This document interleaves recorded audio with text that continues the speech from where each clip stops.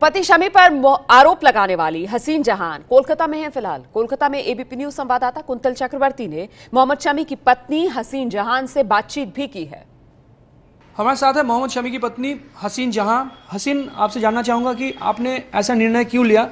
जो फेसबुक में आपने पोस्ट डाला कल ऐसा निर्णय क्यों लिया? समी ने मजबूर किया मुझे ये मतलब करने के लिए। इसीलिए मैंने किया। अब तक तो मैं सोच रही थी कि चलो वो जो कर रहा है, कर रहा है, जैसा भी है है, एक दिन ना एक दिन वो सही हो जाएगा और हमारा घर संसार सही हो जाएगा। यही सोच सोच के मैं पाँच साल मेरा गुजर गया। लेकिन ये सही तो होना बहुत दूर की बात है। और बुरा और बुरा, और ख़राब, और गंदी बिहेवियर और गंदापन, बहुत torture mentally torture physically torture इतना किया, उसके बाद ये है एविडेंस इसके बाद दुबई में आके साउथ अफ्रीका से दुबई में आके रहना होटल बुक करना, पाकिस्तान साथ रूम शेयर करना, उसके साथ सेक्स करना, ये सब सारे प्रूफ देखकर और उसके बाद भी मैंने अपने आप को बैलेंस में रखा पेशेंस में रखा और मैंने समी से ये पूछा कि ये क्या है? तो वो झूठ पे झूठ बोलता गया, ऊपर से मुझे ठेठ देता गया कि तुम अपनी ज़िंदगी बिगाड़ोगी, तुम अपनी ज़िंदगी जहन्नुम करोगी। अभी भी जिस लायक रह रही थी, उससे भी बदतर ज़िंदगी बनेगा तुम्हारा। सुधर जाओ, चुपचाप से हाथ पैर समेट के बैठ जाओ।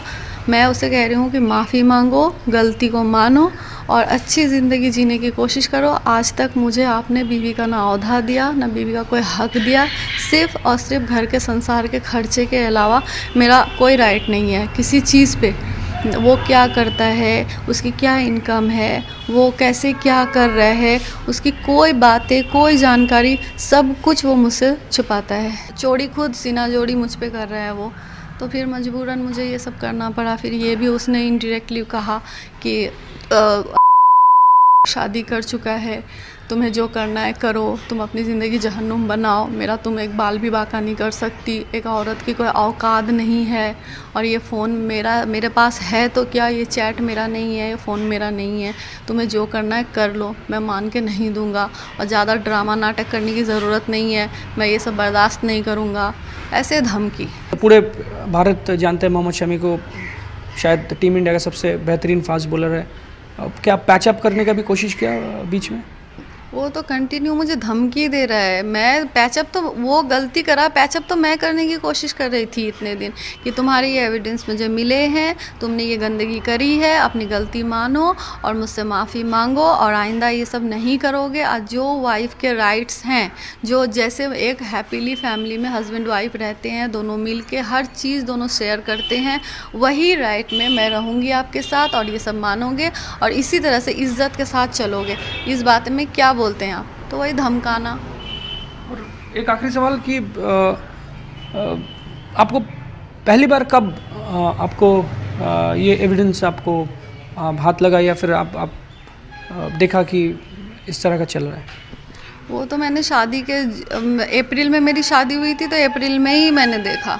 तो वो मेरे हाथ से छीन के फ़ोन डिलीट मार देता तो ऐसे करता तो वो करता कभी हाथ नहीं देने देता फ़ोन में। बहुत होशियारी बहुत चालाकियाँ करता। और जब भी वो आते थे तो मैं उसका फ़ोन ज़रूर चेक करती थी। तो कुछ ना कुछ कभी ना कभी मिल ही जाता था। फिर मुझसे उसने जब रिलेशन रखा तो उससे पहले मुझसे रिलेशन में था मतलब रखने से पहले या मत, वो एक की एक लड़की के साथ पाँच साल से रिलेशन में था। उस रिलेशन में था, उसके बावजूद भी उसने मेरे साथ रिलेशन रखा, उसने मेरे मेरे साथ अफेयर करी, उसने मेरे साथ इंगेजमेंट करी। उसके बाद उसने मुझे ये बात बताया कि पाँच साल के से, पाँच साल से उस लड़की के साथ उसका अफेयर है, ऐसे है तो मैं शादी नहीं कर सकता, मेरे घर वाले उस लड़की को मर्डर कर देगा, ये है, वो है, अगर घर से नहीं मानते हैं तो मैं मैं शादी नहीं करूँगा। वो वैसी वैसी बहुत बहुत नाटक वाली बातें उसके बाद मुझे कहा कि मैं तुमसे ही शादी करूँगा। ये, वो, ऐसे करके फिर जो है आफ्टर ऑल शादी हुई। शादी होने के बाद से ही ये सब चलता आया। लेकिन इतना गंदा ये निकलेगा, ये मुझे अंदाज़ा नहीं था। तो आप एक आखिरी ट्राई करने के लिए सोच रहे या फिर आप लीगल प्रोसीड्यूर के लिए जाएँगे? मतलब नहीं नहीं मैं बिल्कुल लीगल में ही जाऊँगी। अब जो होना है लीगल से ही होगा। अब बहुत हो गया बहुत मार खा लिया मैंने बहुत मेंटल टॉर्चर मैंने सह लिया बहुत फर्स्टेशन में ज़िंदगी गुजार ली मैंने अब मुझसे नहीं हो पाएगा। ये थे हँसी जहाँ मोहम्मद शमी की पत्नी। आपने सुना उनका क्या कहना था इस पूरे मामले में? Kuntal Chakraborty ABP News Kolkata. ये है एबीपी न्यूज़ आपको रखे आगे।